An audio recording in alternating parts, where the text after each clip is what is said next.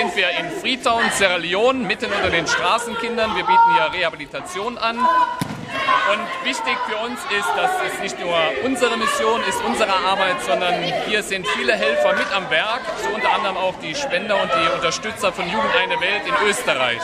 Unsere Arbeit wäre nicht möglich ohne ihre Unterstützung, ohne ihre Hilfe.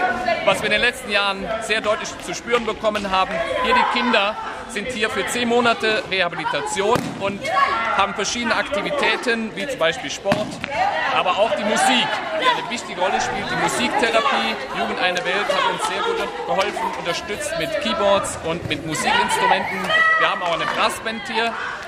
In der Pädagogik ist es sehr wichtig, Kinder, Straßenkinder ein gesundes Selbstbewusstsein zu geben, ein Selbstwertgefühl und eben, dass sie ihre Talente entdecken für die Musik.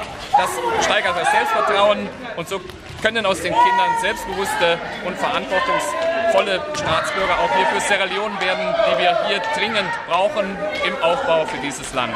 Vielen Dank, Jugend eine Welt, für die tolle Unterstützung.